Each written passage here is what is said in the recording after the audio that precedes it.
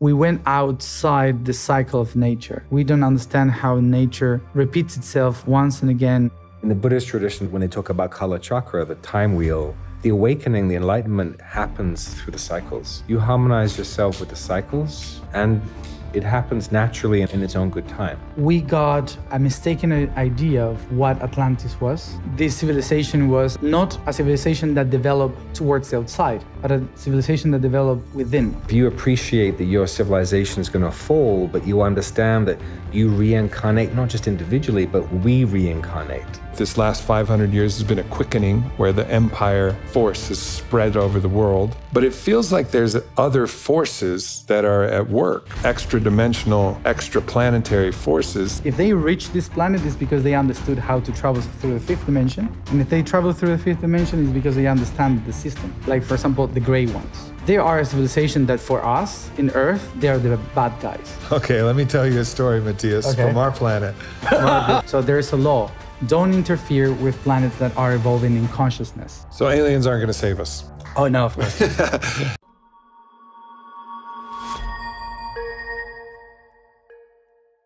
Matias, John. Wow, look at this combination. nice to meet you. So, as we were outside talking, one of the things that came up was this deeper understanding of the importance of remembering our history so that we can actually recognize the patterns and the cycles and then make the necessary adjustments to those patterns and cycles. And so, I just want to open this conversation up with a remembering of there was a time when there was a flourishing civilization that felt like nothing could stop it. Well, the idea of Atlantis um, with that name emerges for the Greek people. The Greek people got the stories from Egypt and the Egyptians from the previous civilization, and that previous civilization from their ancestors that were from the Atlantic Ocean. Uh, so I would say that most of the stories that we have today about this civilization, they were described by the Greek tradition, um, describing the idea of this civilization as if it were a magical civilization or uh, an utopia for their own governments. Like they wanted to tell something to the people that we could become like that eventually with the perfect order, with the perfect civilization and everything. So I think that since the Greek time, with the description of that civilization, we got also a mistaken idea of what Atlantis was. Uh, like if it was a civilization exactly as we have today with technology, like huge technology or or very, I don't know, uh, Dubai style, you know, with uh, um, with this weird constructions and so on. But actually, uh, from my memories, this civilization was actually not a civilization that developed towards the outside, but a civilization that developed within. And in the last period, tried to manifest everything outside because they knew that otherwise they would forget everything and they would disconnect eventually. So wait, so you so what you're saying is the Atlantis was focused on the Atlanteans were focused on the inner sciences. Yeah. And then in the fear of forgetting the inner sciences like we had, we started focusing on the outer exterior sciences. so we don't die. Right. so we don't finish. And this was when they understood that everything has a beginning and an end. And whatever they are, they were building within, eventually it would collapse, it would disappear for others to start a new cycle. So they needed to build machines for time. They needed to build machines to remember how to connect with the interweaving of all dimensions. And if they come back in the future, they would have the tools there to do it. So that's why we don't actually find many things from a civilization, because usually archaeologists try to find I don't know, uh, jars or uh, golden things or I don't know, um, things that Artifacts. roads, things that would say, oh, this was a very expansive civilization like the Romans, for example. But they actually they weren't like that. They were more connected with the land. They were more related to uh, tiny temples that were for the within, and they would create huge pyramids, but maybe there were tiny houses around or small villages with domes. But that's it. So most of the great civilization that we picture sometimes, uh, it was not civilization towards outside, to conquer. It was a civilization to understand. That's why we, when we connect with that civilization, we we usually uh, talk about the wisdom that they had. The last period of Atlantis was to conquer.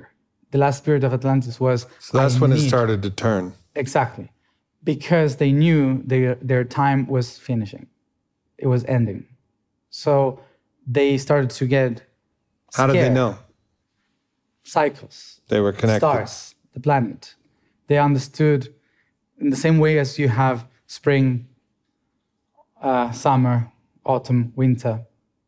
They knew that whatever blossoms in spring eventually will die in autumn. But for a civilization, it takes maybe 2,000 years.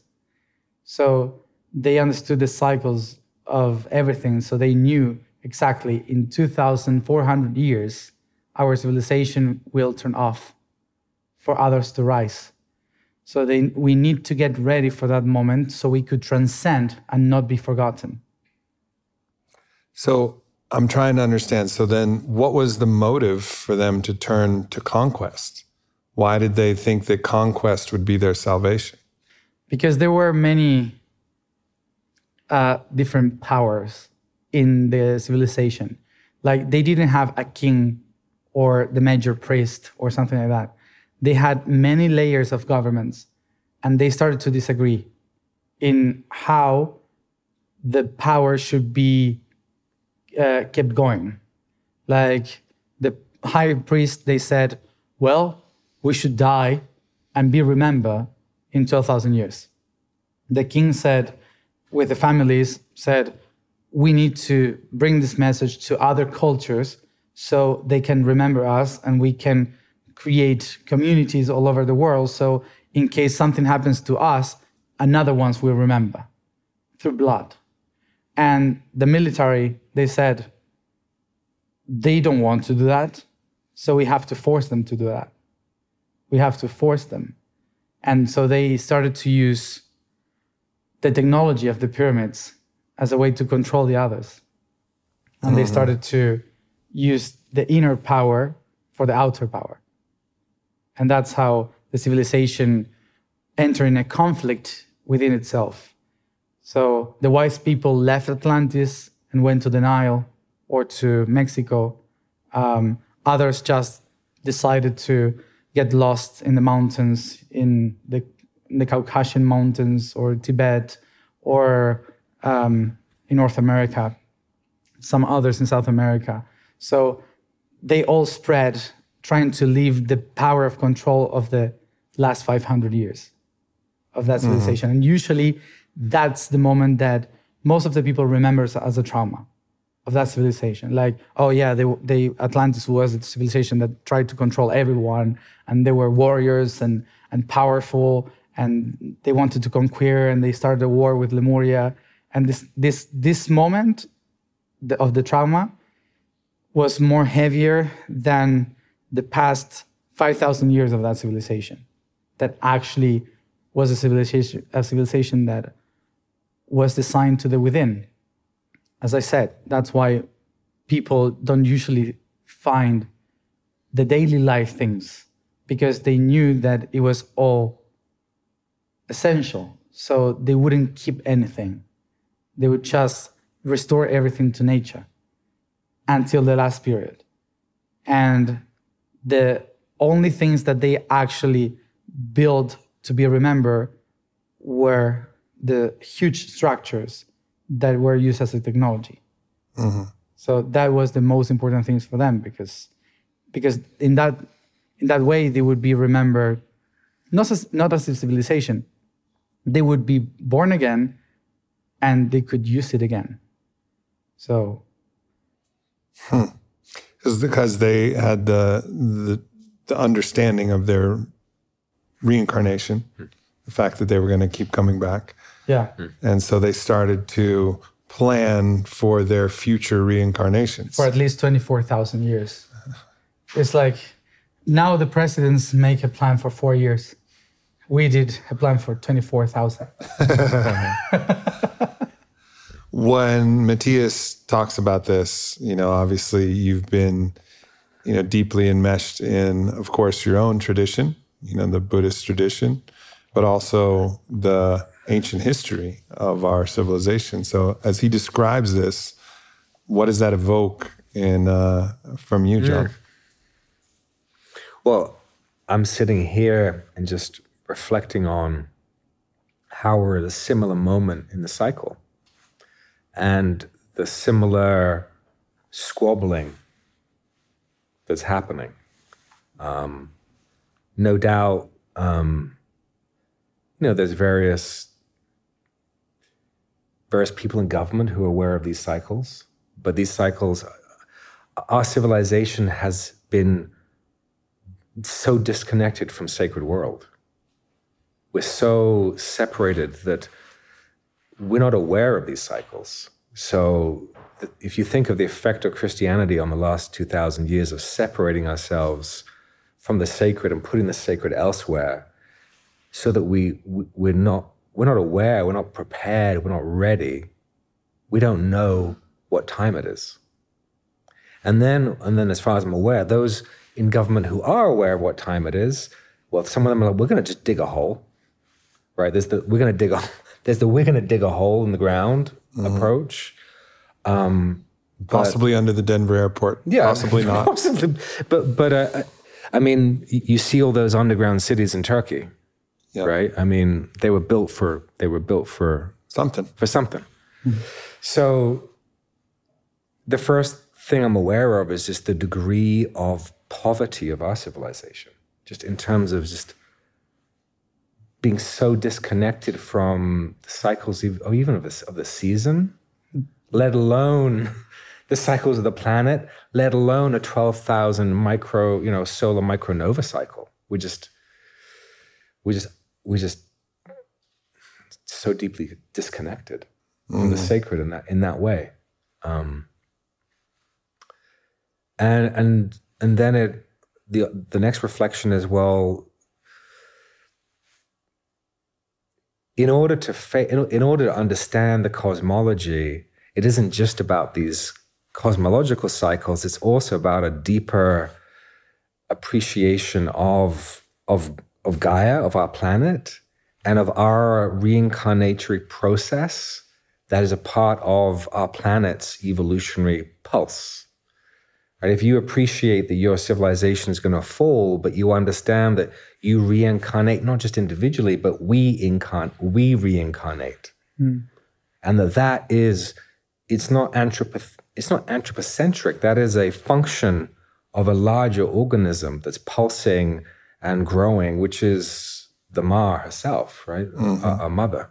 Um, so I think the first thing what speaks is well how deeply like disoriented we are completely disoriented and not ready for any kind of cyclic transformation even like spiritually right? Like we just like the fact that that in order for something to be born something has to die right? Like uh, and and in order to live you have to be okay with death like so, the mm. very fact that we've avoid of we've avoided this history, we've avoided the possibility that we will die as a collective, means that we're not really we're not we don't live either, right? Mm. We're we're kind of we're numbed. So these are the things these are the things that are coming up. Uh, yeah, I mean, it, yeah. thinking about the cycles and how that's the similarities and differences 1492, Columbus sailed the ocean blue. You know, that's roughly 500 years ago.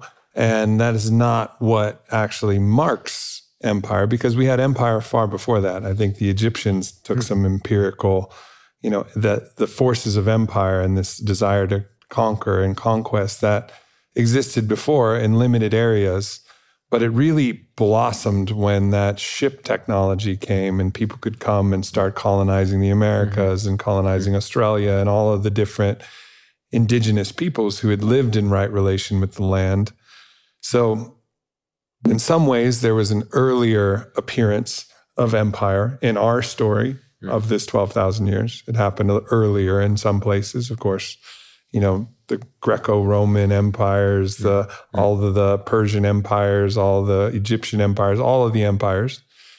And then also there was a huge swaths of land that were basically untouched, potentially helped seeded also by Atlantean wisdom mm-hmm. that came, and were able to live in connection where they could speak to the rocks and mm-hmm. they could and the trees and the wind and everything was sentient and alive.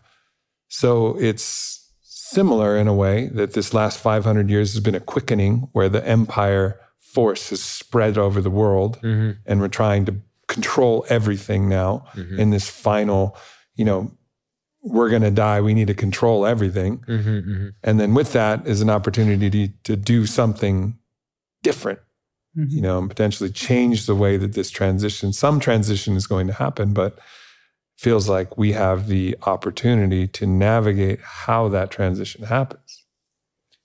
Yeah, the um, we we as as as humans we started to to expand and trying to control others uh, because our fear to death. We we wanted to survive because we had no idea what would happen after.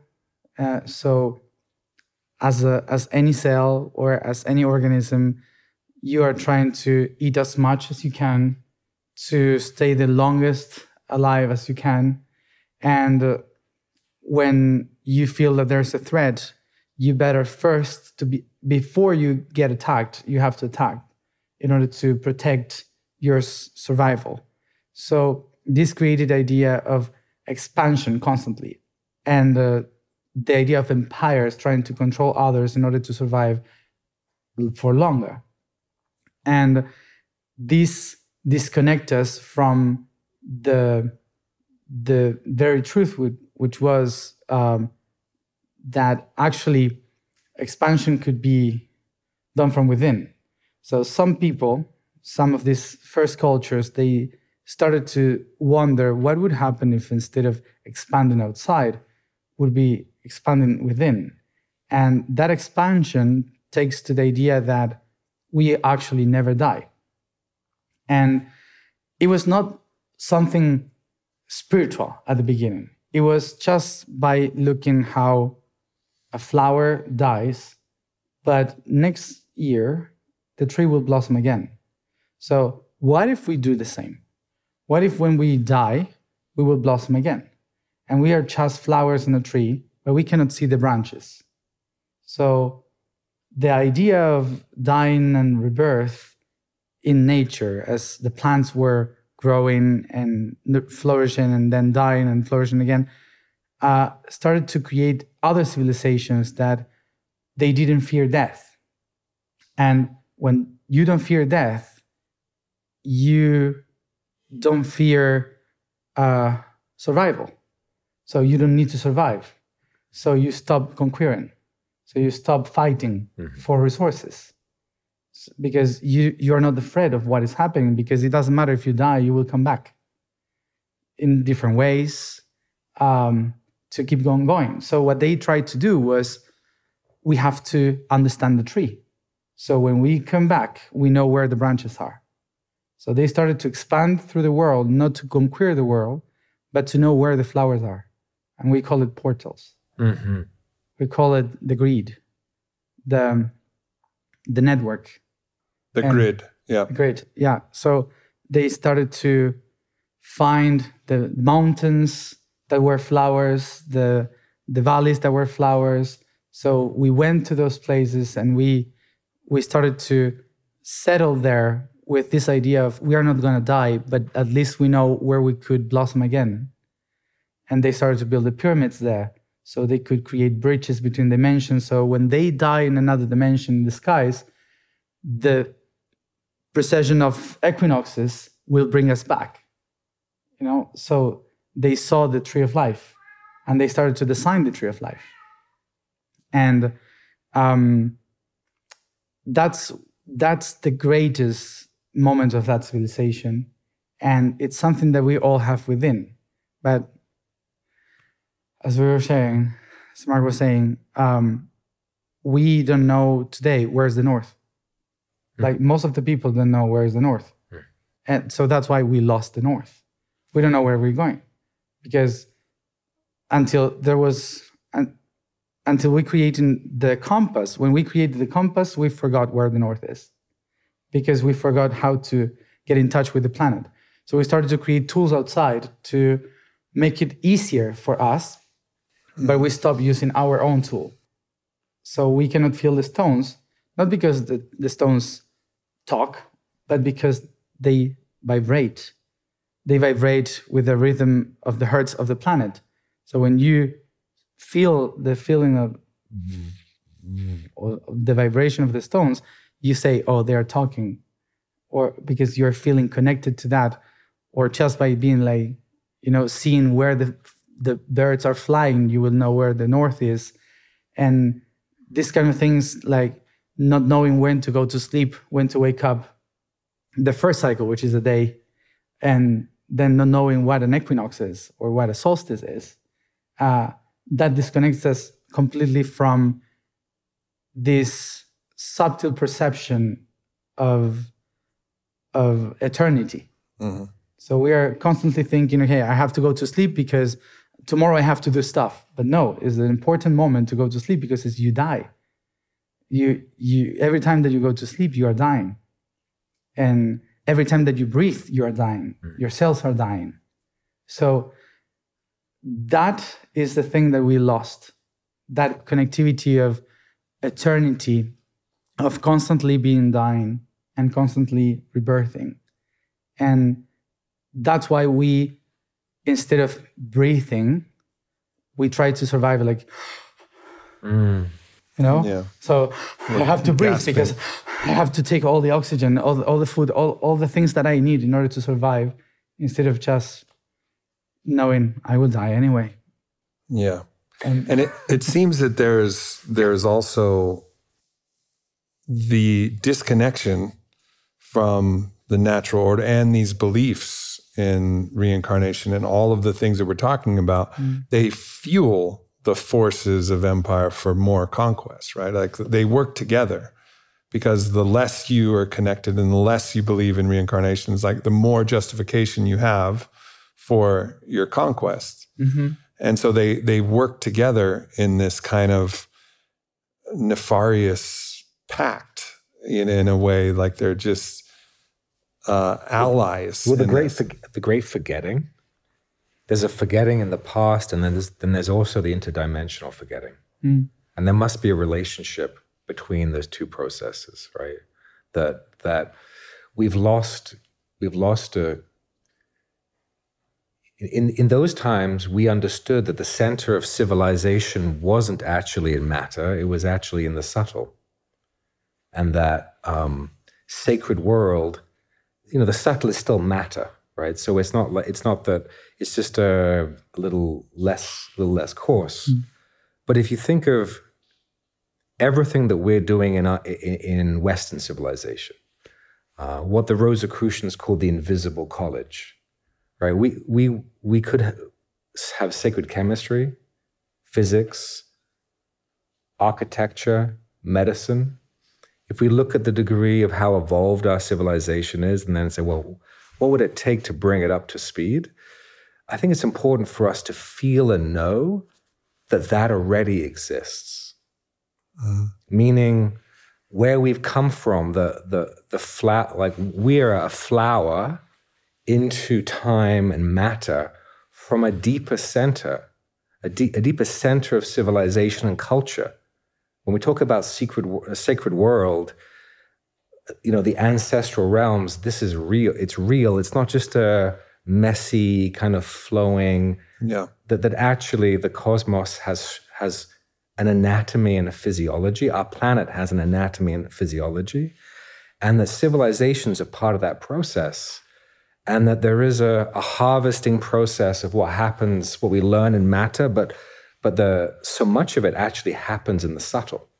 Mm. And that isn't to negate the the beauty of of this kind of of realm, but it's really important for us to remember the, the cosmology that we lived in. It's it's the losing of that cosmology. Because if you lose that cosmology, then you then you lose the, even the idea that there's some that there's somewhere to connect to. Mm-hmm. Mm-hmm. I mean, I have I have students who are scientists, and um, at night they when they're in the lucid dream state, they go to a classroom and they're learning about these, these new technologies. Now, that happens in another civilizational state, it's, it's subtle. So, that the, the loss of our connection to an understanding of continuity of civilization being not just not just on the physical but in other dimensions we've once we lose that then we are, and we even lose that understanding spiritually, because then you can still have a sense that you're on a path, but you, but you, you, you we lose the, the community and the civilization that we are actually a part of. Mm-hmm. That even though it isn't fully manifested here, all the work that we've done over these lifetimes, all the work our ancestors have done, isn't lost right? And, yeah. and then there's another cycle available available for download. Available for go download. to your go to your spiritual app store. Yes, that's right. it's that's right. Available yeah. for download all of the wisdom that's been captured, and that's right.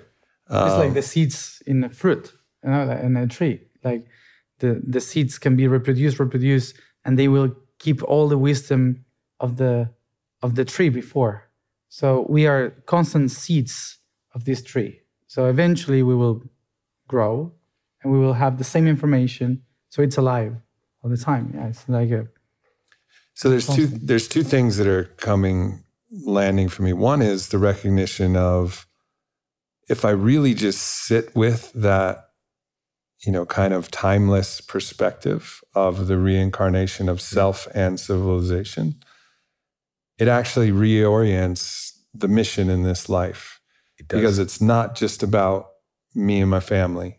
It is about me and my family, but it's also beyond me and my family because my family enlarges to the family of Gaia, the planet, and all of civilization, and how no matter what happens, that we set up ourselves in the best way that we can for the future civilizations to come and do our best to ease the transition and salvage what we can here. But just feeling that, I also recognize that I haven't, even though I know that to be true, haven't allowed it to fully seep into my bones mm-hmm. and really, really get it. So, you know, that's that's one thing I just wanted to reflect as moving through me. And I also want to go back to this idea of because I think it was a you know, not true, but partial explanation for the desire for conquest and the desire for empire, right? Like, so based on fear, based on scarcity, based on that. But it feels like there's other forces that are at work in this beyond just survival and beyond just these even extra dimensional, extra planetary forces that are actually looking to undermine life itself, looking to control, squash, dehumanize, degrade, life with a capital L mm-hmm. itself. And it seems like these forces have been very active and are very active now. I'm just curious from your perspective, Matias, to talk about these forces from a cosmological standpoint and then potentially other you know stories that you've heard of other star systems that decided to go one way or another way mm-hmm. and how these forces have kind of influenced in a history that even extends further back than our own history. We're talking about this galaxy or Lucifer? Well, both. Why not? Why not? Yeah. when if we talk about the origin of uh, the forces that makes everything to collapse and to um, corrode in existence. Turn upside down. Yeah.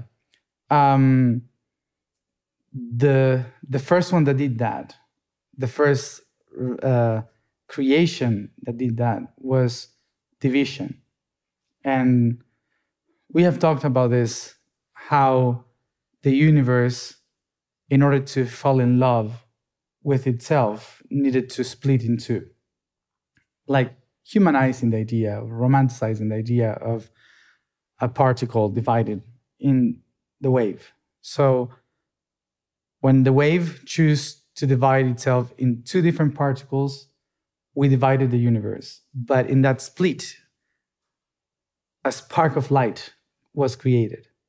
And that's that's what we call the bearer of light, which is Lucus Ferus, which is Lucifer.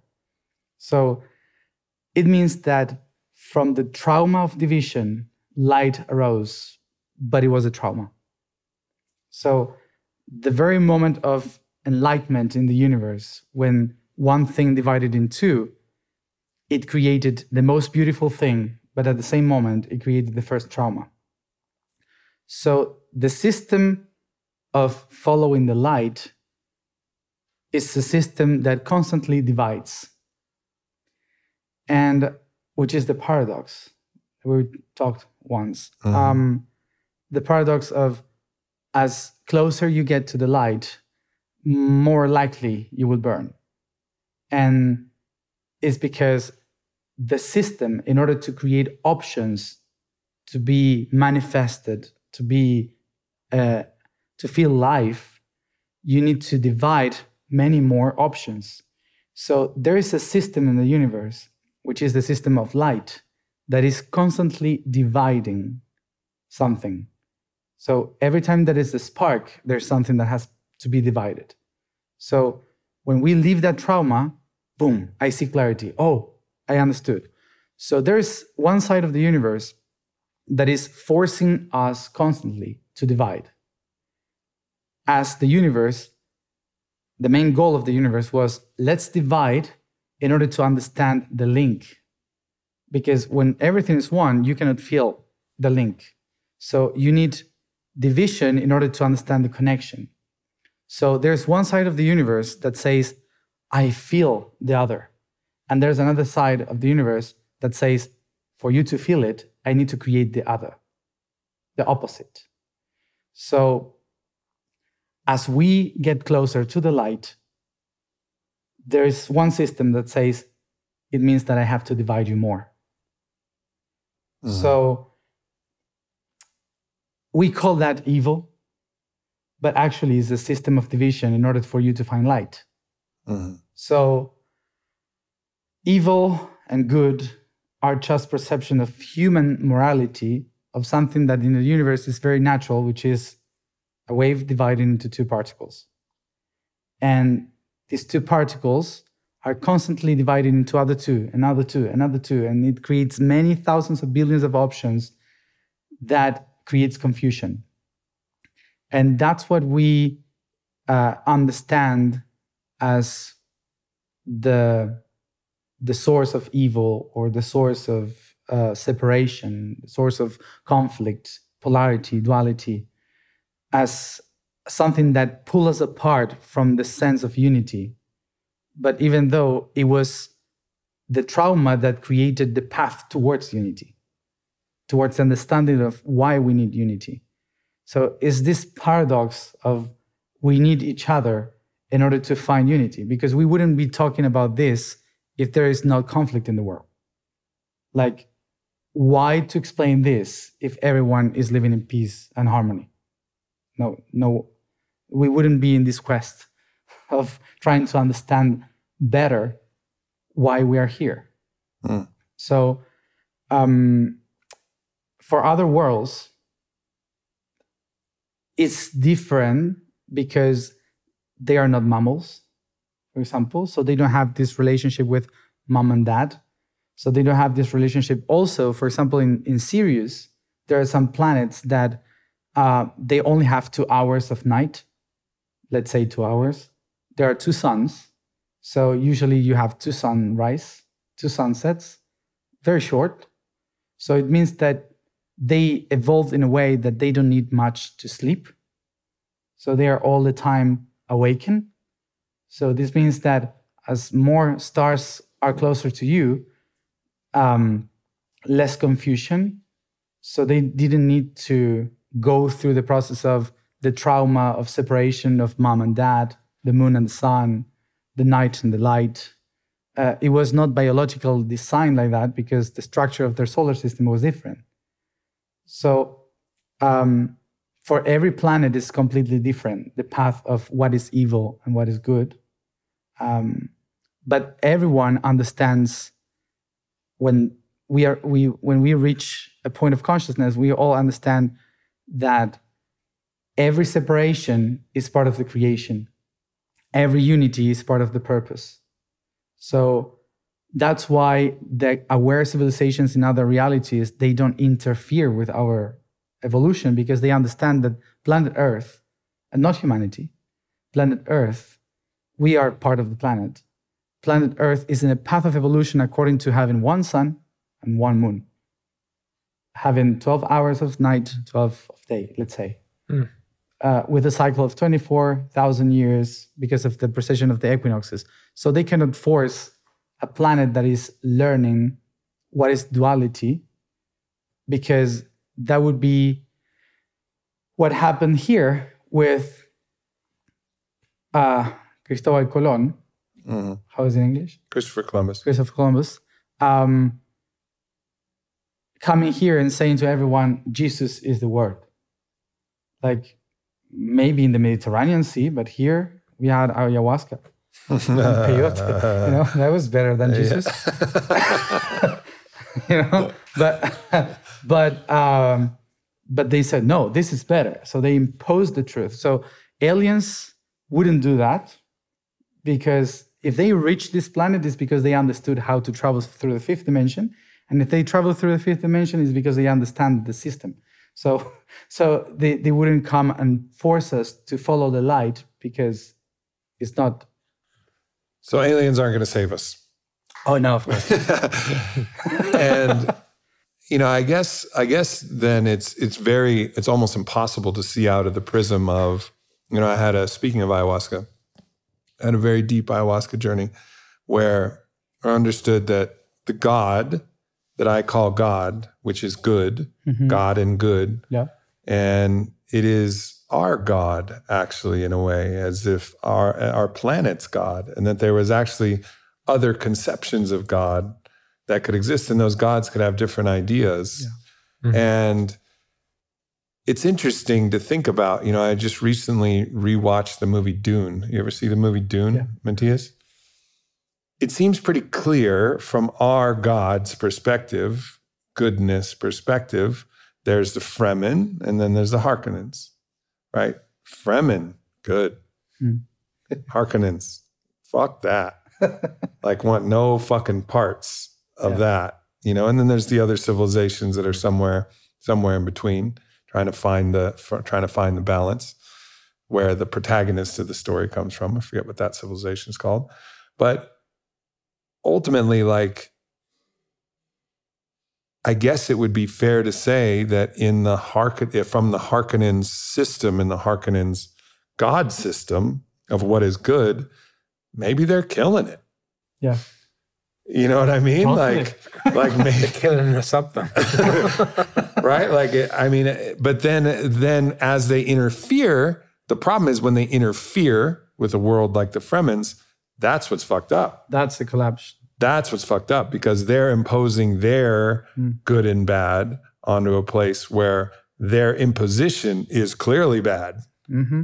And so that's where when you start to cross cross those ideas, but it's diff- it's difficult. It's such a stretch to imagine imagine diff- different conceptions. I want to extend the good out universally, right? So the question you had around extending good and evil out, right? I mean, if you think of from one perspective, evil is what happens when trauma, when the when the cycle of trauma keeps going and it's not processed, and rather than opening and releasing and feeling, there's a process of contraction. More, more, more, more contraction. And then it gets to a point where it's so contracted that no longer wants to feel the pain and projects it out and then attacks what's there. Mm. So you have, you can think of evil as complete contraction, right? And, and of course, which is in the Buddhist tradition, this is the wheel going one way, and you have the wheel going the other. So you can look at it in terms of splitting, which is one way of, or you can look at it in terms of what direction is the wheel going, hmm. right? And you can you can have you can evolve civilization with the wheel going the wrong way. I mean, we saw with the Nazis, right? We saw like, oh, that wheel could just, if that wheel had kept going and kept going and kept going, you could, you could have levels of of evil that are. That, that, are, that are, yeah, and clearly that I mean that's in our God and goodness, right? So like there is in it's not that we're creating a moral relativism in our own in our own world. Mm-hmm. There is Nazis are not the same as the Yawanawa brothers who we just got to mm-hmm. meet and witness. Not the same. No. Not the same. No. Sorry. Not the same. They're That's not right. morally equivalent. That's right. They're different. Yeah. And so there's then and then it's just opening up then the the way in which we extend this out through the cosmos. Which the same kind of cycles. So we're referring to a cycle here related to a planet, but there, are, there would obviously be even larger cycles where the same process that we're talking about, drama and a narrative of, of, of Earth and Atlantis, happens on one large, an even larger scale, mm. where it isn't just planets reincarnating, it's stellar systems, right? It gets a bigger and bigger and bigger and bigger. Same process repeating itself as as the galactic organism, just like a planet is an organism, mm-hmm. and, and has a karma. So so does a galaxy. So that process can. We, we probably would see it throughout the cosmos. Right. So then, if we go from that galactic federation kind of perspective, it still seems as though there's certain things that are of the good and hmm. certain mm. things that are of the not good even even from a, a, larger perspective even if you do have different stars and suns and you know I would would seem so. it would seem seem like that to me but in the confederation if we call it like that um it's not an organization against evil it's neutral so i remember being there i was not a very big politician there. It was Justin. So you're talking about the Galactic Federation in a yeah, if you remember. Galactic that. Federation. Yeah. Uh, I was I was just the secretary of a neighborhood. Um, in like if they had a problem with the sewer, I was in charge of that. like, nothing important. But You're dealing with some shit. exactly. Yeah. So, so um, but I but we all have kind of a like a public knowledge of what was happening. Um, we were all connected somehow uh, to know what was going on, even if we were not part of the government or something like that. So um, we, I remember moments of, like for example, the gray ones, the gray people. Mm. We call it Xiamur. The the Xiamur they were they are a civilization that for us in earth they are the bad guys you know the mm-hmm. not good not good at all but they had a chair there they they were they exchange because for their world for their planet and their system their their solar system let's say uh, they accomplished to understand how that planet worked So they accomplished a level of awareness that represented the evolution of that planet. So they weren't trying to control anybody. Their, their nature was to turn off the light of the planet. Like they needed the resources till the core of the planet. So um, basically, that was their nature. That was like the planets were their food. Mm-hmm. Yes. So, but they accomplish a perfect yeah, fuck harmony. those guys. fuck those guys. But what, what Yeah. you're saying is is that their e- their evolutionary path was not so much around ours, which is maybe love and wisdom, but more around. So my tradition, we talk about how different planets have different lo- logoses. Yeah. and these logoses have different evolutionary um, typologies. So there's some logoses that that evolve through power Yeah. And the personality of the planet itself. So you would imagine you could have a planet that raises a totalitarian civilization. Mm-hmm. In our mind, that's bad, but for the psychology of that planetary system, that fit. that is it, Yeah. and it's complete order. Now our our logos, And in some ways, that balanced with polarity with our well, well, this know, is I think erotic, this is the erotic planet. Exactly. Our our planet isn't. She is. She's not. She is more on the love wisdom. Is a mother. Our planet is a mother. Yes, And wildly, their erotic, planet was wildly not. erotic. The Exactly. planet was not. Yeah. And uh, for example, There's, at, there's what- no big dick slinging gray the, aliens. the conversation that I remember, for example, was they, they were they were saying in the conversation that they had was um, the decision of bringing some humans to be part of the meeting, and these people said no way, and the reason was because humans feel so much that would hurt the magnetical field of their bodies and they would die of a heart attack. if they caught if they caught a little piece of piece of Yeah. My So- Jewish anxiety, it would just, So- it would just burst into flames. So imagine, imagine, imagine you as a Pisces going to a grave saying, "I love you, brother." Mm. Bam. you know, so who is the evil one? So, so really, this is about creative friction, right? Yeah. It's like good versus evil. At least in this, it's it's polarity, different typologies, different evolutionary, different evolutionary functions, like different that that when they rub against one another. I mean, clearly, we might not. Uh, our planet uh, seems to me has a. It's a lot about free will a- and and there's a lot of freedom and we value we value that there might be systems where that isn't the case yeah. and we i think i, I think we would see that as being evil but if you're a mantis being or if you're right i, I mean if, if if it's a different line of evolution we have to be able to step outside and just appreciate And that and that is, I mean, the best of us, the best of us our planet could create, the the Christic impulse, Mm-hmm. you know, which very well may have been carried by the one named Yeshua, but it's it's a real thing, regardless of your history.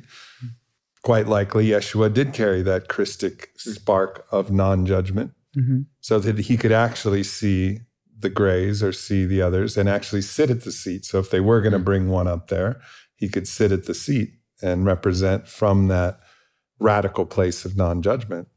But it's that's uh, that's perhaps the aspirational impulse of how we could earn a seat at the at the table is we'd have to step beyond our judgments, you know, to a place where we could actually hold the balance of all the cosmos. And that, that's what we were trying to do in the Atlantean times when there were not only one ruler. It was a round the table. We talked previously that it was around the table of different powers that they were all together deciding.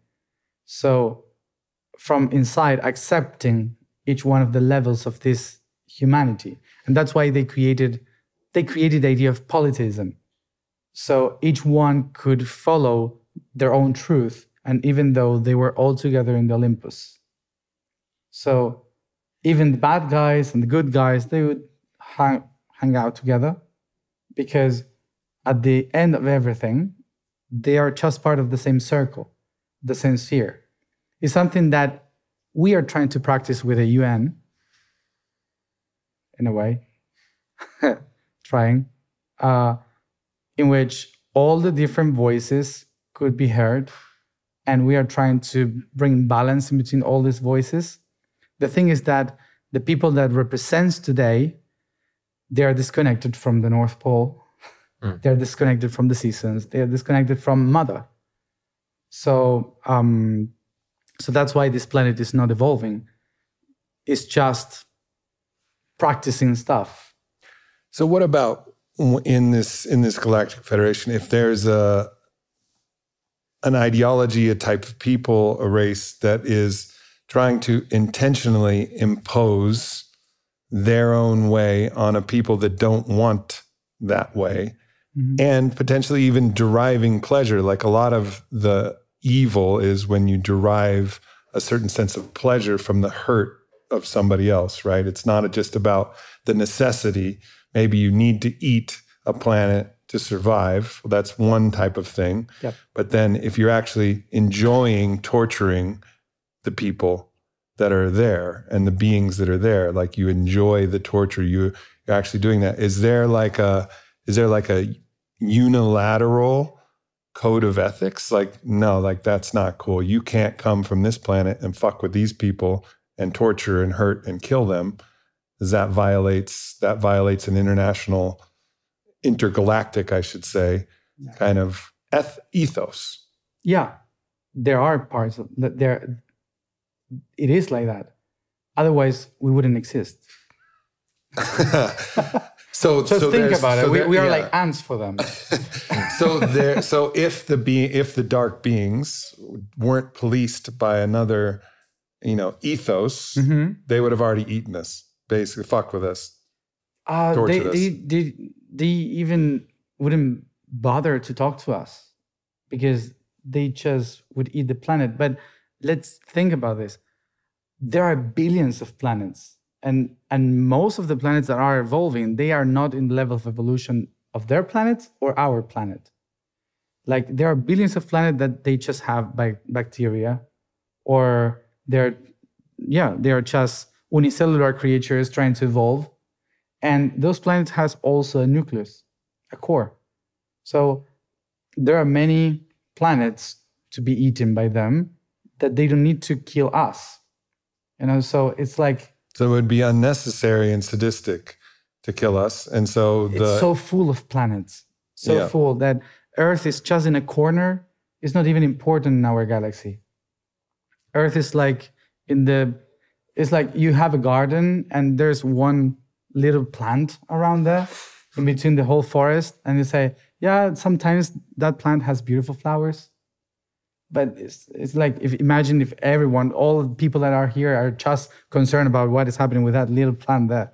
Like maybe some bees go you know? Mm-hmm. so um, our planet we we we perceive that the planet earth is so important because we are planet earth yeah so of course we take care of our of our who we are.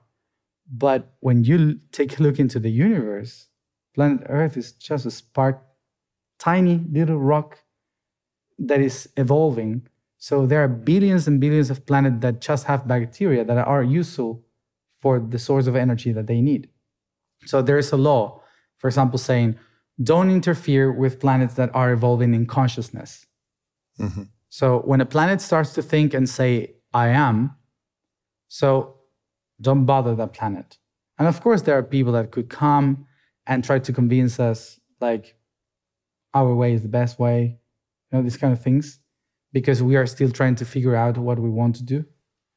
But um, they cannot interfere directly mm-hmm. because uh, there is this law of resonance that makes that this planet is connected to the path of evolution of certain planets that are also mothers. Mm-hmm. So it's like mother cells. Mm. You cannot kill a mother cell because otherwise, if you need to reproduce the same pattern, you cannot have the mother cell. So the earth is like a mother cell in your body. You just can come here, put some stuff here, and say, in case my planet dies before I was able to do something, I can come back here, take some human, take it back to another planet, bring the DNA, and reproduce it again. You know, so this is like Noah's Ark, Mm. like a mother cell in a huge body, which is the galaxy. So nobody would kill us, just us. no, Just nobody us. would, yeah, because um, they need us alive.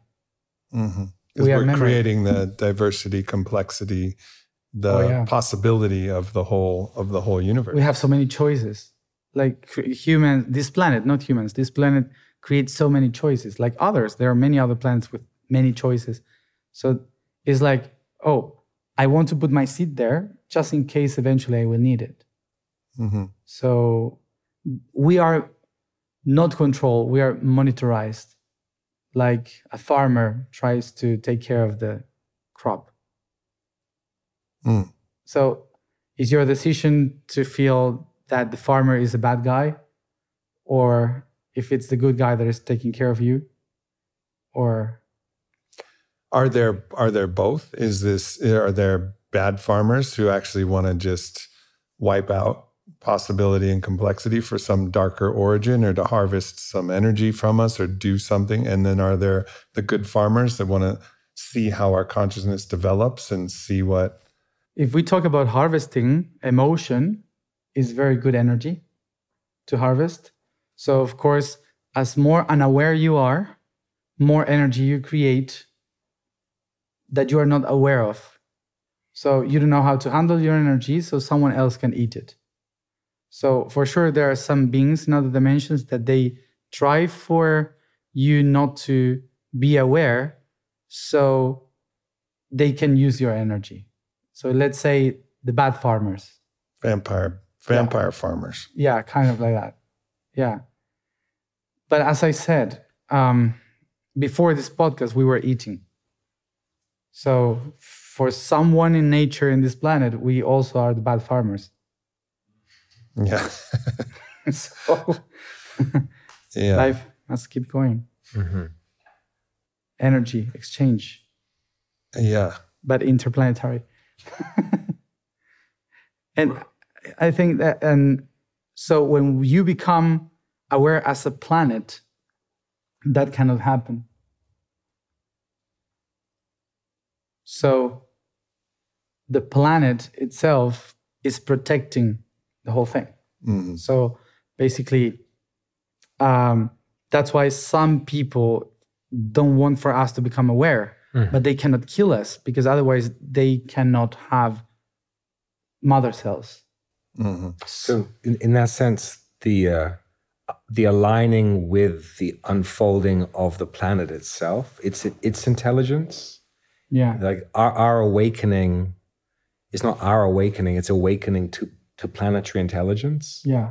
and that what, as that happens, then something else happens because it's a much deeper degree of integration, Oh yeah. right? So You that start to listen the planets. Yes. So so that this this our awakening process is essentially about becoming becoming the planet.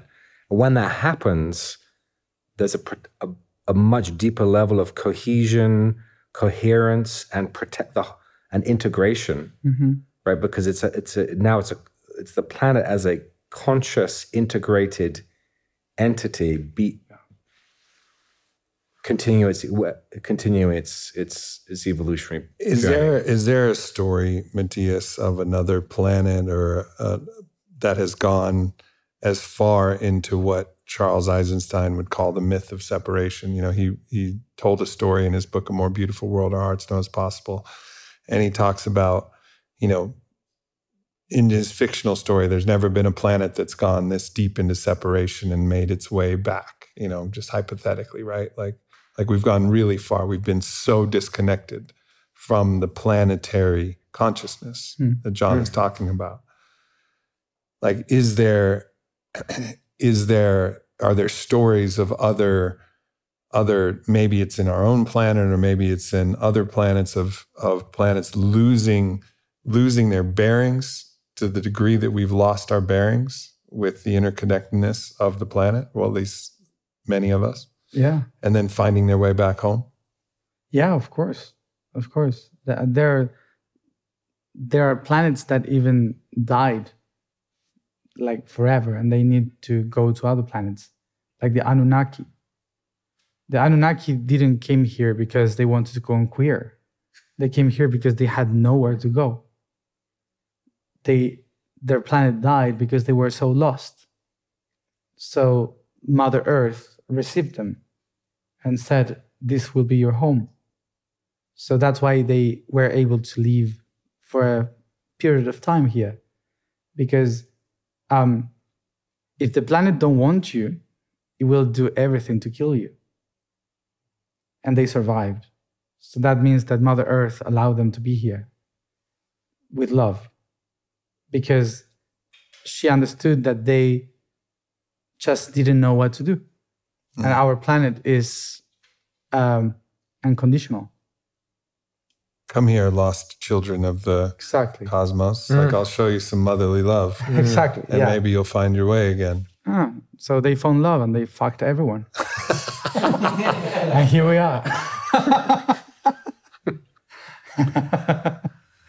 yeah. So the so these I mean the the forgetting could go all the way to existential destruction, complete complete existential destruction of the whole planet. You could forget so much that you kill everything, or you could just depends on how quickly we, we remember. So this process is about like how fast can we remember? Can we remember before we have before we forget so deeply that there's you know even greater and greater and greater calamity that we have to face. So it, it seems like that's really our directive here is like Hmm. how quickly and deeply can we remember who we really are? Mm-hmm. Faster, you mean? Yeah, like isn't that wouldn't that be the impulse? Is like what are we what are we what are we working for, striving for, fighting for? We're fighting for a remembering Hmm. that takes place quick enough Yeah. that it avoids existential calamity. You know, right? Like I think let's compare it with something simple in this case. Like if you would have a child, what would you do to teach him? Like would you force him to follow the right path or would you give them the free the freedom to choose and to learn from their mistakes? Like you would say to them, this is the right path. You have to honor this God you have to be good in this way or you would say this is how i lived and discover your own way like, how would you raise a child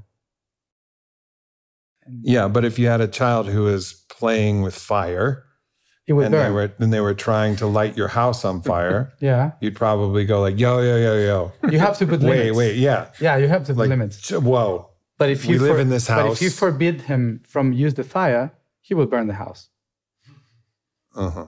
So, uh, so what would you say? Like, this is not the right place to use the fire, but we can go there and burn these things Yeah. and try here, you know? So, because the need of learning, and when you're learning, you don't know what is the outcome. So, there are beings that follow rules and beings that try to find a different way. So, um, usually our mind is trying to find different ways. So, if you forbid this, your mind will try to find a way to do it anyway. So that's why the learning process of a of a child is to create the environment for them to practice without hurting others. Yeah, we're hella creative. It's like Mormons and their soaking. You know about Mormons and soaking? No, okay, let me tell you a story, Matias, Okay. from our planet, from our, from our great from planet. our planet. Yeah. So in and I've heard this from you know from a, a Mormon friend of mine who told me the story. I was cracking up. So basically, you know, premarital sex is forbidden, Uh-huh. and the act of intercourse is forbidden. Hmm. So what they've devised to get around the forbidden law is what's called soaking, and soaking is where you penetrate but you don't thrust back and forth, right? But if you got a good friend who's with you, the friend can jump on the bed. so yeah, so it creates the motion so that you're not actually doing it. So you're not doing the forbidden. You're not fucking. The bed is doing the fucking for you. You just happen. You're soaking, not Be a fucking. good friend. Good friend. You want your heaviest friend. you, got, you, you got your thick boy Mormon soaking assistant who's just good at just bouncing on the bed in just the right way. You see, you find a way. you find a way. Oh, You will oh, always dear. find a way. No. So oh. that, that's why. Hmm. you create always the environment for that. So hmm. Go back to what you were saying. oh, brain. Let's just redirect this one. um, you know, I, I think that the, the other way to, to think about this is that um, clearly, um, clearly the, the world desperately needs to awaken.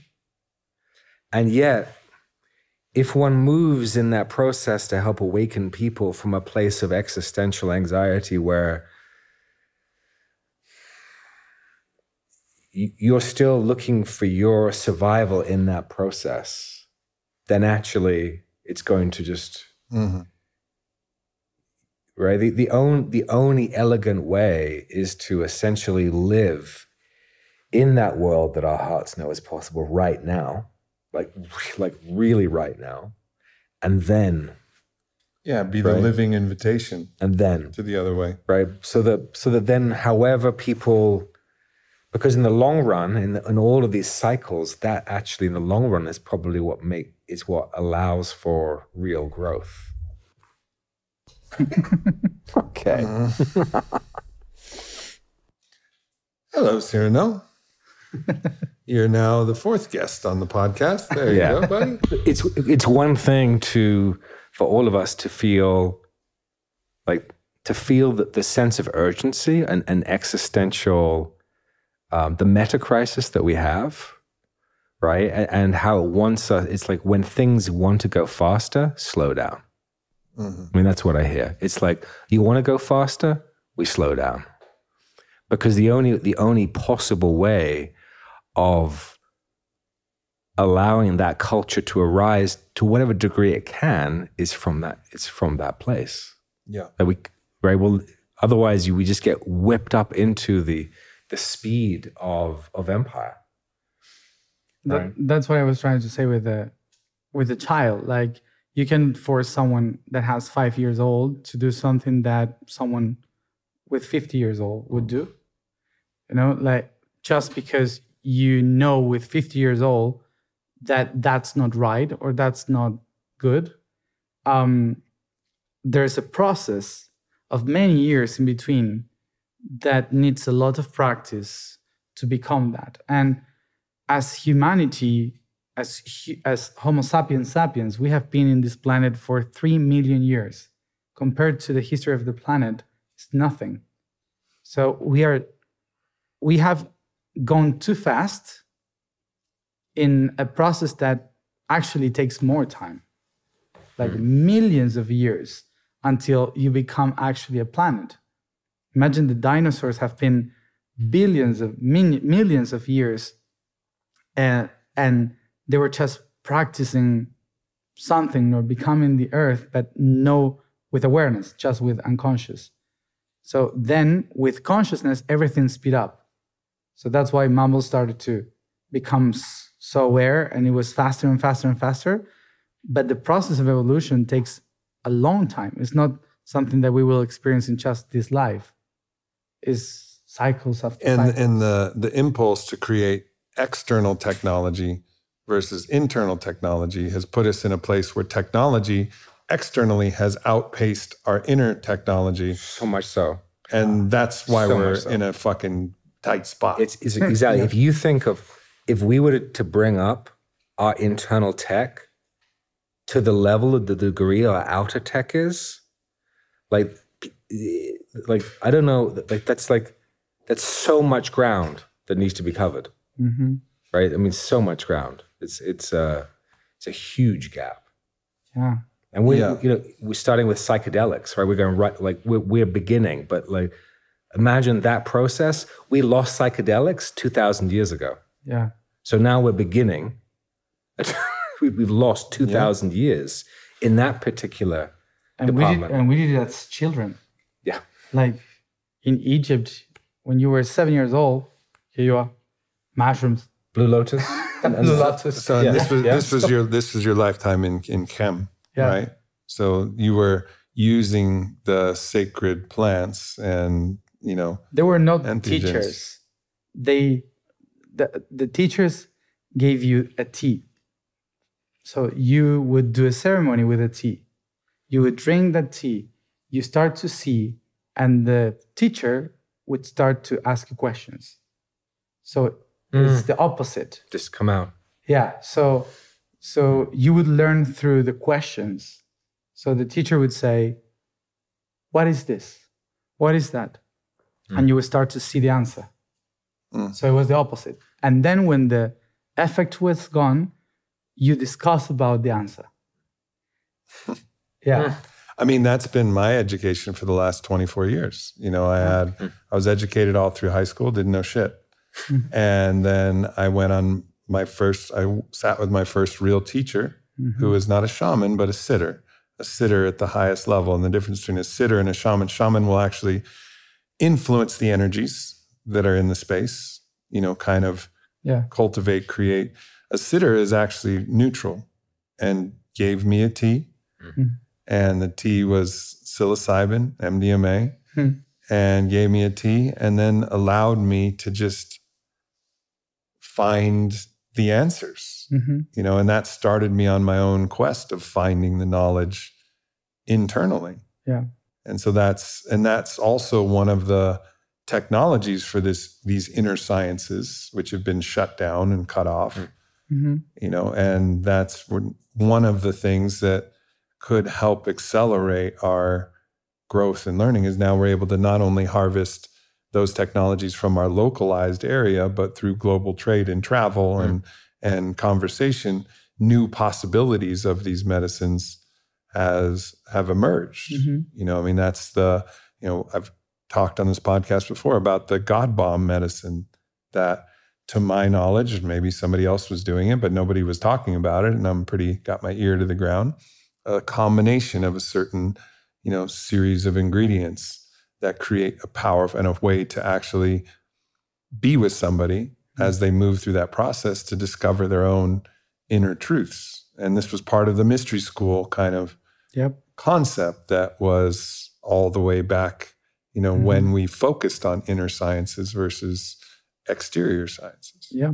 It was all about discovery. Like one of the one of the hardest tasks that we had was uh, to live in darkness, like in caves or hidden, so no light. Um, to awaken the light within. So it was it was very tough. Some of part of the of the processes. Um, uh, There were initiations. there were initiations all the time, but we were children. Like um, they said, you had to experience all of this before you were 14. If you, if after 14 cycles, you didn't do that, you would be um, linked to the perception of the outer reality. Mm-hmm.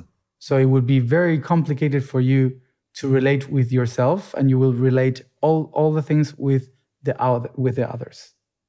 So uh, that's why if you don't know yourself before you are 14 years old, you will only only know yourself through others. That's so so that's why when you were 14, you were an adult. In that in that civilization, with 15, you could be mother, you could be father, you could rule a country. Mm-hmm. so um, that's why the perception that we had is that we live a lot. Because when you were 50 years old, it was like you were an elder, Mhm. uh, like a very, very elder. You know, you knew so many things, and you you understood so many things. Now we are 30 something, 40, and we're starting the path. so, well, and that's and you know, what we should do is to heal the childhood, the traumas that our Mm. parents did. So it's like we spend 40 years trying to heal traumas instead of, you know, becoming one with the Right. with God. So- Yeah. and that's only it's only one of the technologies that was kind of shut down and clamped down. It was Yeah. also our the technologies of sexuality. yeah. The inner technologies of understanding our own eros, our own Mm-hmm. erotic impulses, which I'm sure also had a much different trajectory. And what was it like? You know, how did people learn about sex, and how did people like where, and how did that ultimately develop as well? Because there's a big reawakening not only of the psychedelic renaissance, but also sacred sexuality in in its way, in magical sexuality, sex magic Mhm. you know, starting to understand how to harness those energies in a powerful, in a powerful, magical, productive way.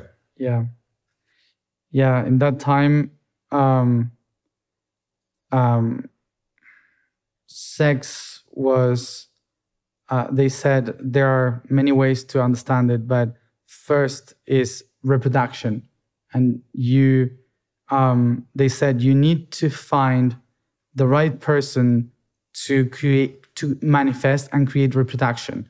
Then you need to find people that would complete your chakras let's say. So um, for that for that moment we had one partner that was forever and it was not usually because of love.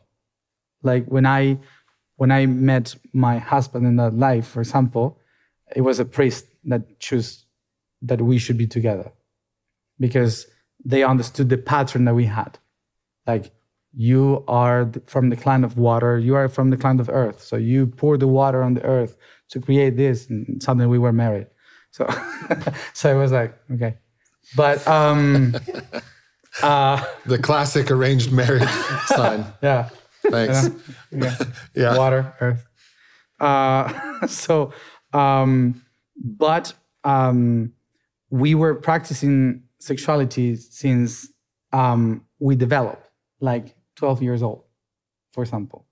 Like we needed to practice to have the ability to connect with our own sexuality, with other sexualities, with um, reproductive sexuality. So, uh, sex was a way to uh, restore the magnetical and energetical energy of our of our um, own self. So some people choose the path of uh, how to say it in English celibate. Celibacy. Celibacy. Celibacy. Okay. So um, in order to uh, to work mainly with the um, with the whole with, with the pattern of their own energy, They're called Kundalini. yeah with the kundalini so it would it would uh, be a whole life about that and it was a choice it was a, a choice and uh, for others for example in in in our clan uh, we had many people like we were many people What do you was- mean? huh? What do you mean? like i i was um like mm, we were in a community Polyamorous. Polyamorous, you mean? Like many, many sexual relationships? yes Yeah. kind of like that Yeah. Yeah. So in, order, had- in order to balance there were priestesses and priests. in order to balance the chakras, there were many, many relationships in order to bring to help support. yeah, for example, in the temple of Den- uh, of Dendera, which it didn't exist at that time, but the temple of Dendera still teaches or was teaching about. Um, there were the priestess and priests that they taught how to use the Kundalini energy to others. So they usually said, okay, this person will live with you for four years or four months or like that to teach you this. And it was like this person was specific for that task.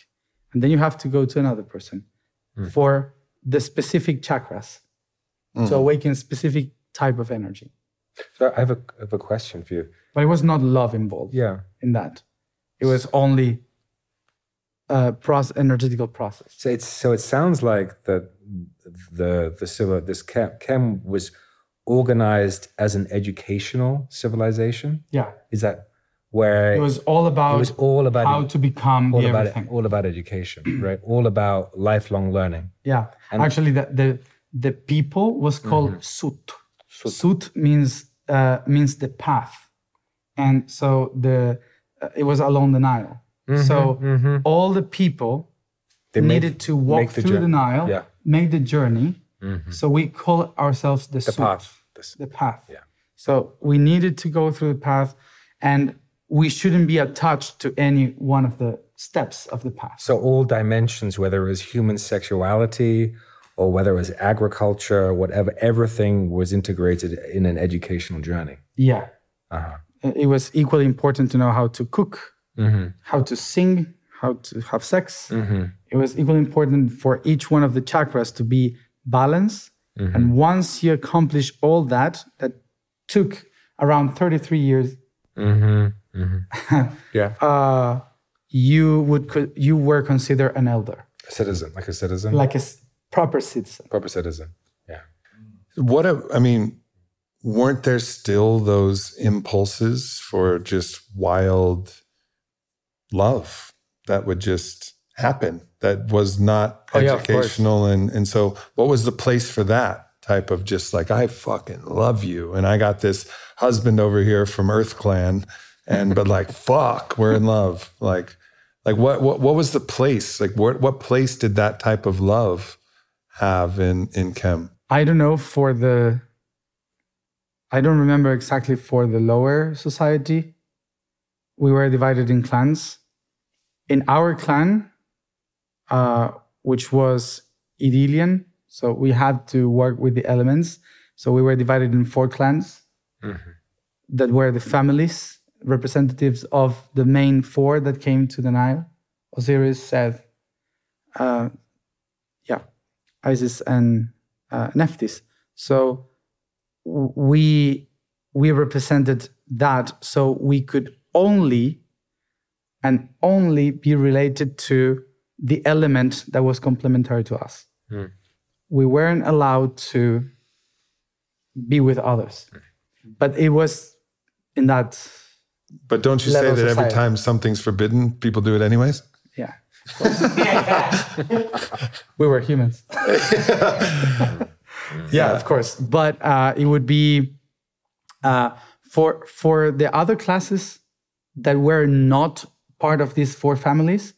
It was much more open, and uh, also for the societies above us, which were like the kings and queens and stuff, they didn't care because they were not on the on the path of what we called the Sut, the one that we had to.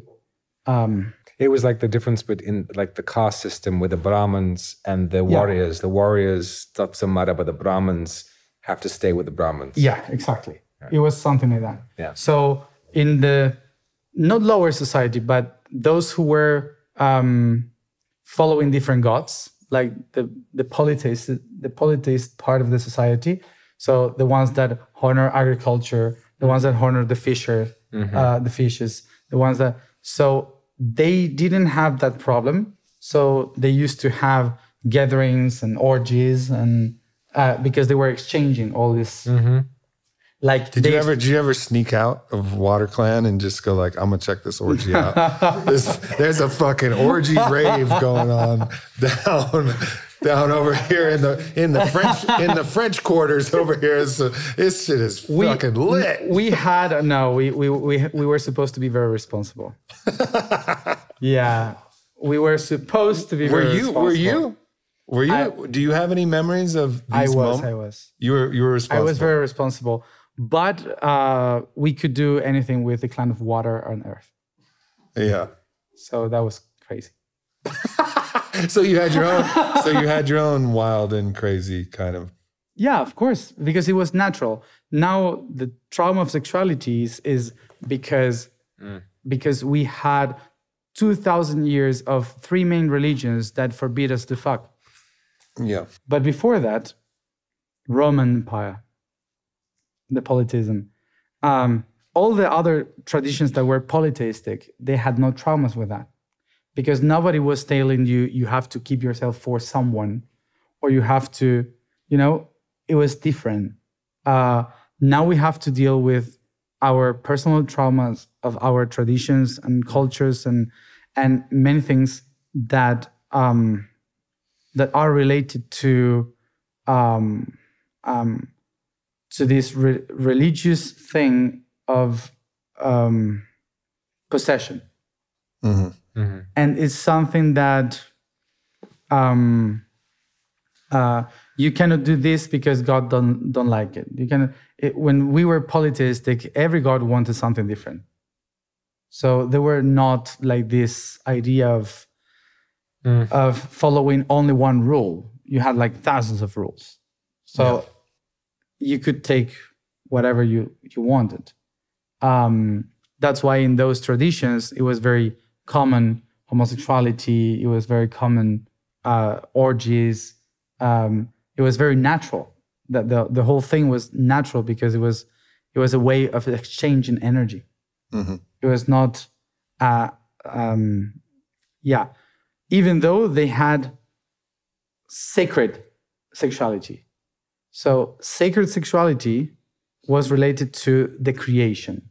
Mhm. So it was I have I have to create myself in another level of consciousness. So I choose someone to bring me into that level of consciousness. There were no problems of connectivity with anyone, but when you were trying to reach creation, Yeah. you needed to have the person that matches with your chakras. So that's what they call you have to be with this clan, you have this, with that. Mm-hmm. That was the version of the sacred union for the sake of the of the child, the progeny. Exactly. Yeah. And the child being your own soul, being their own soul. Huh? The child being their own develop their own exactly. development. Yeah. So so that's that's what they call the sacred union, because it was about the balance, the connection, and the creation. Um, but culturally, there was no uh, repress on on sexuality, because sexuality was constant creation and exchange. But as I said, for some levels of society, it was like, no way, you shouldn't touch someone that is from fire. Mhm. You can burn, you know, these kind of things. Right. Yeah. So, So when you've now you've stepped into this life, and this life has, you know, thousands of years of stories that were potentially seeded from this monotheistic, shame-ridden hmm. religious structure. Obviously, you've either chosen or were born to live a homosexual path, right? Like it's just your nature yeah. and and then so that's already you know divergent from the but also fully accepted thankfully thank god we're at this place at most places in the in the world. Hmm. But as you interface with the with the stories the stories of just being with one partner and that partner and you guys possessing owning each other's erotic impulses and all of that has that just never really landed for you because of your memory of the way it used to be? Or what do you what do you think about because these stories have momentum and these stories are now you know putting us in a situation where that story is starting to deteriorate. Divorce rates above 50% those who stay together most of them unhappy. You can chart graphs of the eros between them the erotic impulse and like wednesday martin's book untrue you know kind of declining or falling off a cliff and then infidelity rates Yeah. extraordinarily high, you know. So all of these things are trying to support a story that may not actually be the best guiding story to go by. It's um we are as I said, we are coming out from 2000 years of Pisces, which is the two fishes. So you need the two in order to organize everything. Now we are going to Aquarius, which is network. So when people starts to wake up, the need of being two disappear because that's why people when they start to connect and realize about their own lives um, they start to go or against their older traditions or trying to um, live a different way. So you start to wake up. So you are not bounded by the culture that you previously have. Yeah. Uh, that's why people get divorced and people start to to right now it's so fast the process that a person has that before it took 50 years for someone to realize something and now in a weekend you can just have a huge realization and in 15 At Burning days Man. change it at Burning Man maybe so um so uh, things are happening so fast right now and our civilization is experiencing all the processes that before took thousands of years to learn in just a few weeks. Yeah. So that's why um, we are experiencing this uh, disconnection from the two and started to go to the net. And that's why a lot of people is is like weaving this connection of people instead of just looking for that someone. Um, Mhm. so um, I think it's right now we are living the trauma of that because we don't know how to do it properly. We don't know. I li- look, I lived the trauma of that. You know, I decided like I get it. I understand this from my own in- inner exploration. You know, it was 12 years of inner exploration, no, 14 or something like that. 14 years of inner exploration. I was like, fuck, I get it. You know, this story, the stories, it's not the story. It's not the story that that makes sense to me. So I was like, I'm gonna be polyamorous. yeah. And I was like, I got this. It makes perfect sense. You know, love should not be, Eros should not be possessed by one person. There's so many possibilities and so many things that can happen. And I went in there and I was just fucking roasted. I There's was still just, 2,000 years of right. So even though your frontal cortex is Aquarian, Oh You're- man, still what did I, did I, I got, I was fucking, yeah, I was Yeah, jealous and, all that. and and tormented and and broken up inside and so much pain. And eventually, you know, like a initiation, like a nonstop ceremony, I ultimately evolved through the crucible of breaking and opening, breaking and opening, and got better at it and was able to understand it. But it was still like trying to step into that new story was tortuous. you, you know, in the Nile, the first temple that you visit is the root chakra. And the last one is the crown chakra in the pyramids. So, but um, we tend to believe that these are like opposite, when actually one is ruling the other. So when you go to the root chakra, you learn about spirituality. When you go to the crown chakra, you learn about sexuality. And why is that?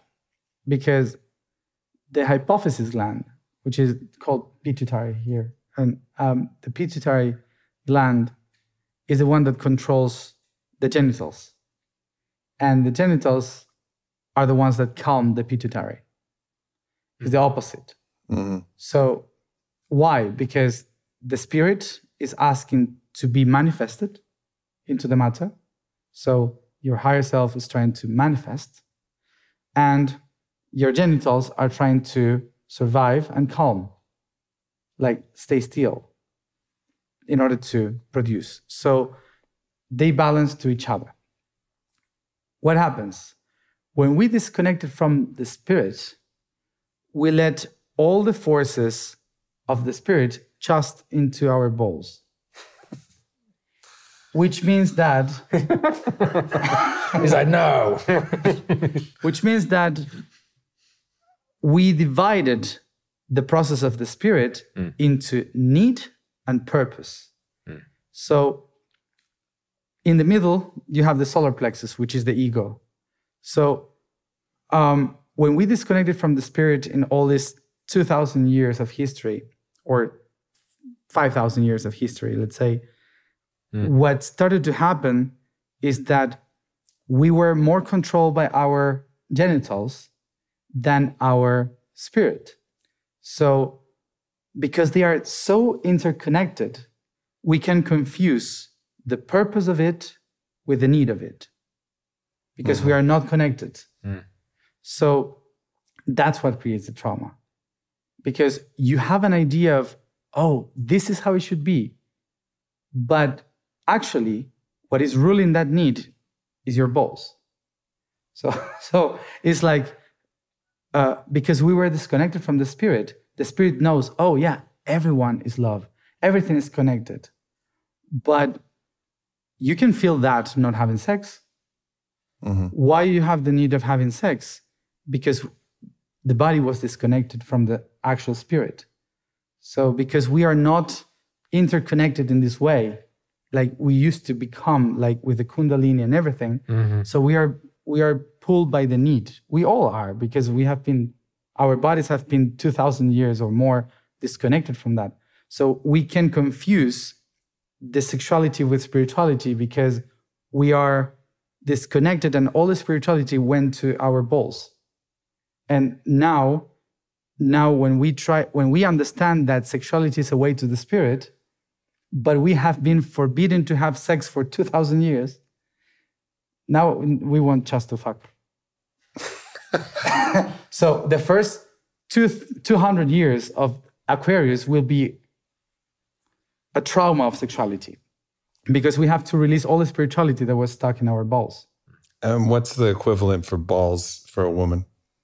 It's the same Pussy, no it's the ovaries the ovaries. So ovaries and uh, eggs, well, they're eggs. It's the same. So just uh, our our balls actually are a malformation of uh, ovaries. so um, so we, we are a mistake in evolution, a necessary mistake. Yeah, yeah. So um, but so so this disconnection of the actual spiritual sexuality, which is bring the spirit into the matter, made us confuse sometimes that having sex is love because we were disconnected. And but actually having sex is bringing the spirit into the matter.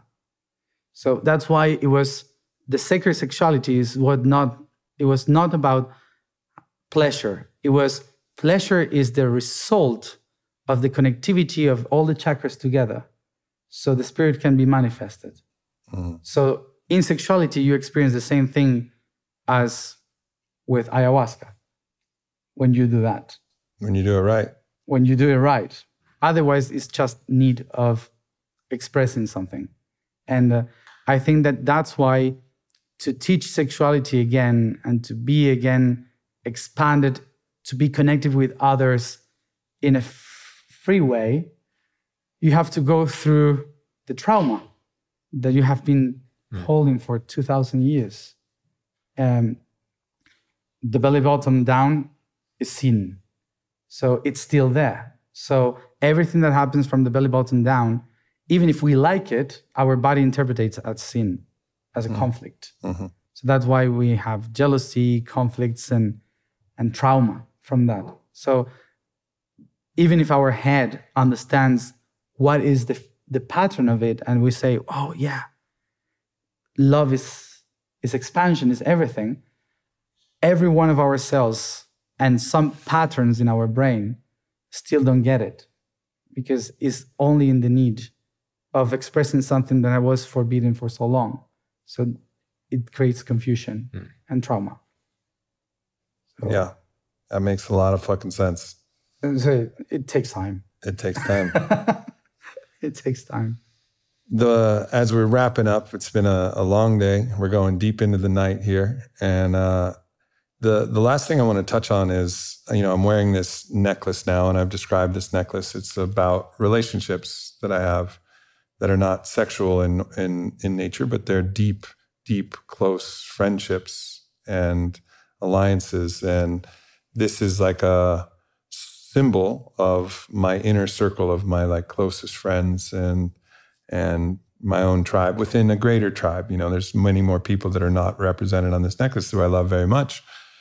But what was the what was the idea around you? because you, probably had a much greater sense of community for your whole civilization but were there was there anything involving like developing the relationships with your friends your brothers your sisters You know, what was that psychotechnology, the inner technology, the fruition of that? How did that look like the deepest friendships that you had and how you cultivated those and, and the importance of those?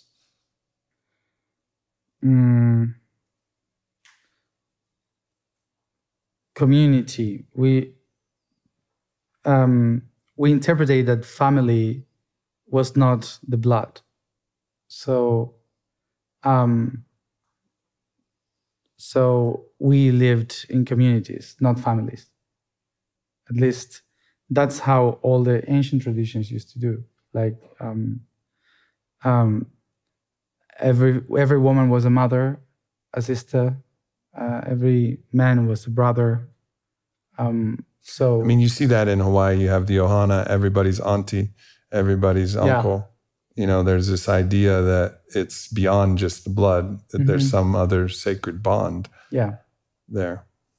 yeah. I think that that um, that the idea of just the family was created because of the of the um, how do, uh, the king and feudalism uh, Mhm. tradition and, and the, the, blood. hereditary transfer of wealth Yeah, and title, exactly. and et yeah. So they said we have to create a family separated from other families and stuff like that. And by separating clans, the process of empire leads to greater and greater separation. A clan is so much more potent than a than a couple, than a than a little family, Yeah, right? I mean, Mhm. so much more power when you're a clan than if you're just a, an isolated family. and as I said before, for, for us was we were divided in in elements, and we only can cross with certain elements. I had my sister was another element, but even though we were in certain moments together doing stuff specifically for uh, our lives, but um, but I had my family as the water, and The water clan. and she had she had her family as the air. So even if we were the same blood, our clans were more important that than the family we were born in. Um, so um, because that creates a connection through time and through um, like like a like a soul that holds each other beyond time, beyond space. Mm. Um, yeah. So we uh, that's how we lived it Yeah. in that way. Yeah. John, what what would you like to uh, what would you like to ask Matias as we kind of bring this to a close? Anything that's sparked in your own mind, or anything you'd like to offer hearing this r- really deep remembering of of sacred world and sacred relationship? I, I think I'm I'm I'm curious about how how do you suggest yeah, as we as this cycle is repeating itself again, Hmm. how do you suggest that people prepare themselves? What is what does that mean? And What does that mean for that to to happen again? And, and and what does it mean for people to come into right relationship with where we are, despite the obvious gap that we have between ourselves and and and how it was in previous times. Yeah. The um, well, of course, that there is something uh, today that we are. It's a global thing that now we have to take care of the planet. It's a whole. It's the whole thing. Before it wasn't. This is now a global civilization. Exactly. Exactly. Before it was a region. Uh, Yeah. During the Atlantean time, it was it was a whole, but after Atlantis, there was regions. Right. and we were protecting regions and connecting with regions. Now it's a whole again. Yeah. We are repeating the same cycle. pattern, Right. the cycle of a worldwide civilization that connected everything through pyramids, mm-hmm, mm-hmm. that we had the same cultures, similar languages. And now we all kind of speak kind of the same languages, mm. even if each one has their own. Um, so it starts to be global again Yeah. we started to talk about the net again, Yeah. about nodes. Um, so um, we started to recreate what Atlantis was, but in the mood of Aquarius, of course. Um, so, and globally, we have this thing now of taking care of the planet, which is again from the point of view of we human humans have the task of save the, the world, you know, which is a whole story that doesn't make sense. Um, so I think that this is the first step for people to engage with the planet and start to wonder how to take care of the planet. So that is the first step to become the planet. So um, what I what I suggest, what I would suggest is for people to start understanding the main subtle things like why do we have 24 hours? Why there is a North Pole physical and one magnetical? Why um, the seasons change? Um, to understand why the moon is there, why we have 12 months. So there are so simple, such a simple things that you don't even study in school. Like when they when you learn about that in school, it's not powerful. It's just like data, but it's not powerful. You don't you don't feel it. You don't learn how to connect with that. And and I think one of the most important things to understand is that uh, we are not trying to awaken this life because we have to accomplish something as soon as possible. Mm-hmm. This is in every day, we have this practice that we are going to sleep, we wake up, we do stuff in the day, we go to sleep again. Mm-hmm. So, this first cycle helps you understand that you have you can do stuff and there's a moment to relax mm-hmm. and you can so uh, when you die it happens the same. And the cycle is constant.